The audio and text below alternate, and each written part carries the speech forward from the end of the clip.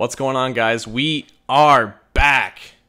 Well, I'm back. The, the two puppets aren't back, but I, I'm here. I'm back. I know it's been a while since we've uploaded. We've all three of us have had some busy summers, and unfortunately, we just had to take leave of absence. But the Bengals are starting to play football again, so that means it's time to start uploading again to this channel. So let's just get right to it. The main story here is AJ Green's injury. Um, unfortunately, he sprained his ankle during the first training camp practice, and actually this morning he had minor surgery on that ankle, which will take him out of commission for at least the start of the regular season. I know there was some people that were holding out hope that he would play Week One, but it's the Bengals and an injury, and whenever that's the case, it's usually just for the worst and not for the best. So AJ Green's out for Uh, probably around two months. So what does that mean for the offense? What does that mean for the wide receivers?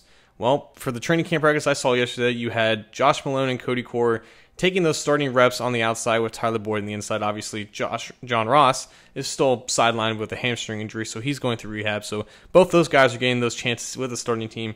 The only interesting development there is that they're taking Tyler Boyd off the field when they go into two wide receiver sets, so they're leaving Core and Malone on the field, keeping Boyd in the slot. I just think that's interesting. They're just reserving him for there for when AJ Green comes back. That's obviously where he belongs.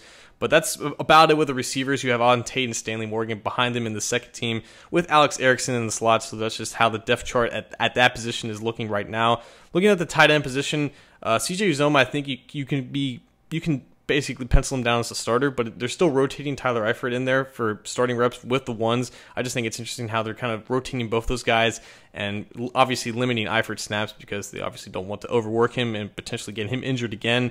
On the offensive line, the only rotating going on there is at the left guard spot. It's going to be a competition between John Jerry and Christian Westerman, and that competition is nowhere near over.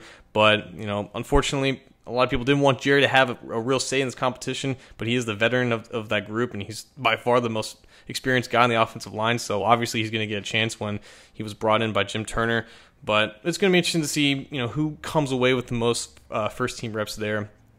Turning to the defense now, not much to say really. nothing really has changed. Just with the linebackers, you have Nick Vigil, Preston Brown as your first team nickel linebackers, and then you have Jordan Evans and Germaine Pratt as your second team nickel linebackers.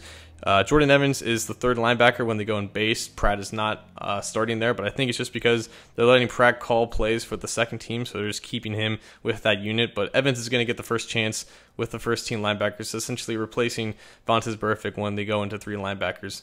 Uh, other injury news. John Ross has been rehabbing that hamstring. He's apparently day to day. What it really means, he's probably out for a month. But also, Darqueze Dennard and Rodney Anderson, the rookie running back who was drafted in the sixth round, they are also starting rehab along with Ross on that other rehab field. So we should be expecting them to come back relatively soon. But again, injuries probably worse than we think. So that's about it for now. There's only been three training camp practices. They haven't had any in pads. That should start tomorrow, and I will be down there to cover tomorrow for all of you guys. So stick around.